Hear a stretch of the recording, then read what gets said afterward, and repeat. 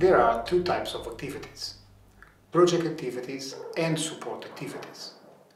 Project activities are the ones necessary to deliver each and every one of the outputs in your project.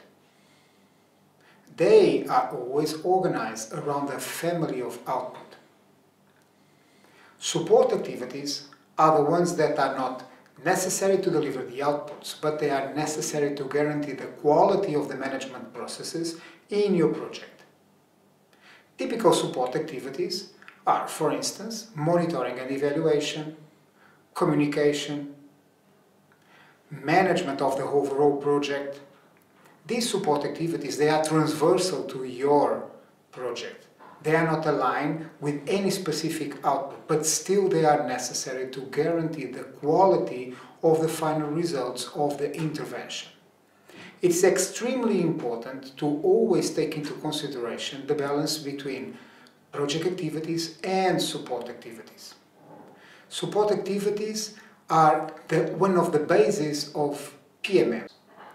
So once you are planning your project, don't forget to plan not only project activities, the ones that you need to deliver each and every one of the outputs, but also the support activities, the ones that are transversal to your intervention.